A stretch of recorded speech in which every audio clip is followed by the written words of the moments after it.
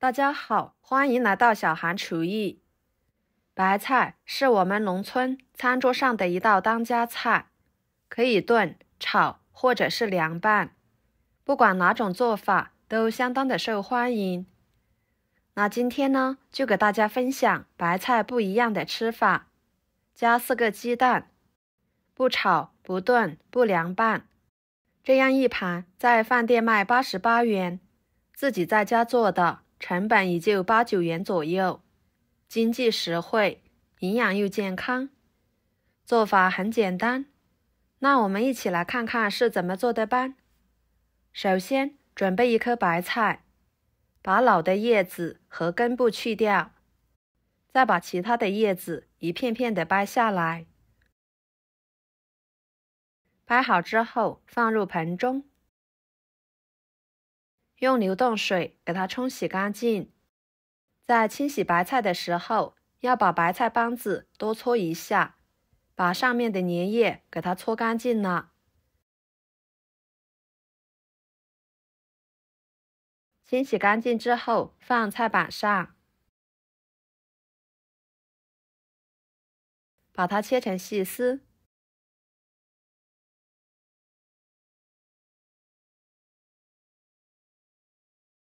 再切碎，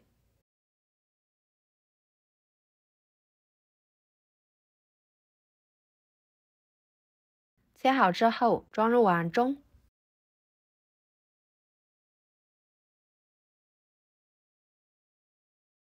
加一勺盐，搅拌均匀，放在一边，把白菜的水分给它腌制出来。接着准备半个胡萝卜，把它切成薄片，再切成细丝。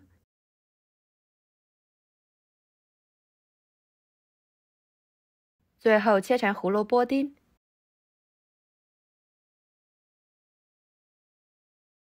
切好之后装入碗中，先给它放在一边备用。接下来。准备几头大蒜，切成片；一个生姜，切成片。再给它们切成姜蒜末，尽量切碎一点，这样吃起来口感会更好。切好之后装入碗中。一把小葱，先把葱白切碎，和姜蒜末放在一起。再把葱叶切成葱花，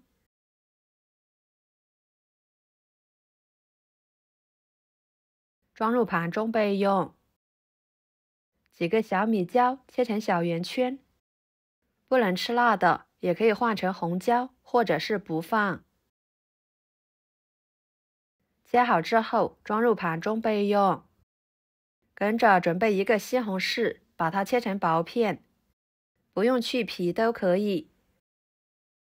再切成条，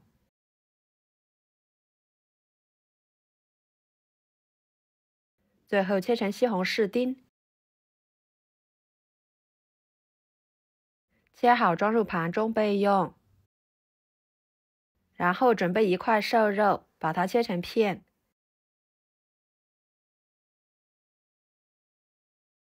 再切成细丝。最后切成小丁，这样一会儿更好剁肉末。再剁成肉末，剁好之后装入盘中。跟着来调个料汁，加一勺生抽，一勺蚝油，一勺香油，半勺白糖，半勺淀粉。先放在一边备用。接着把腌制好的白菜倒入纱布里面，给它包起来，用力挤干白菜中的水分，挤出来的水分不要扔，一会儿给它倒入料汁里面，再搅拌均匀备用。再把白菜倒入胡萝卜的碗中，往里面打入四个鸡蛋，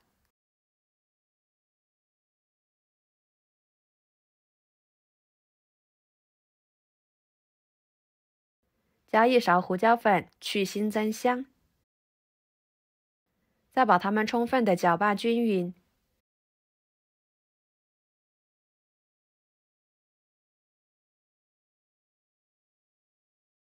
然后加一勺玉米面，一勺面粉，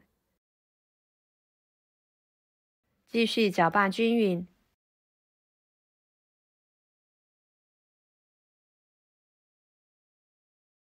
像这种状态就可以。接下来锅烧热，加一勺油，油热后把白菜、鸡蛋液倒进去。摊平整，开小火慢烙，使底部定型。大约烙两分钟的时间，盖上一个平底盘，给它翻一个面，继续烙两分钟，把另一面也烙至金黄。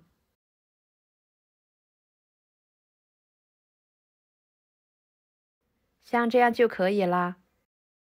先给它盛出来，装入盘中备用。接着，锅中继续倒入一勺油，油热之后，把肉末倒进去，快速翻炒，使肉末变色。肉末变色后，把西红柿倒进去，加一勺豆瓣酱，翻炒均匀，炒出西红柿汁，炒出酱香味。再把葱姜蒜末倒进去，小米椒圈倒进去，翻炒均匀，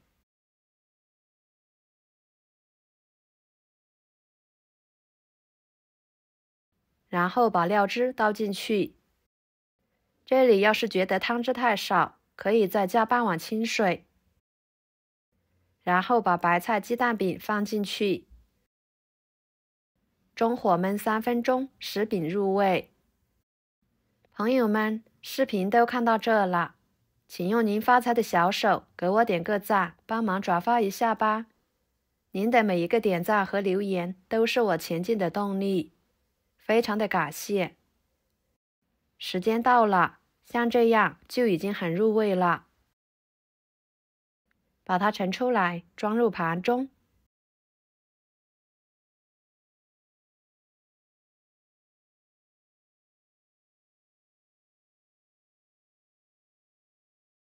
最后撒上葱花，增香点缀，既好看又好吃。一盘非常特色好吃的白菜鸡蛋饼就做好啦，色泽金黄诱人，看起来就非常的有食欲。做法很简单，吃起来鲜嫩又多汁，营养全面，下饭招待客人都十分的有面子。而且这道菜在我们这里去饭店吃。要八十八元，自己在家做的成本很低，约八到九元左右，特别的实惠，而且自己在家做，吃起来干净卫生，小孩吃着也比较放心。以后您买回来的白菜，别总是炒着吃或者是炖着吃啦，您可以像我这样做，吃起来别有一番风味，很是受欢迎。好啦，今天的家常菜就给大家分享到这里啦。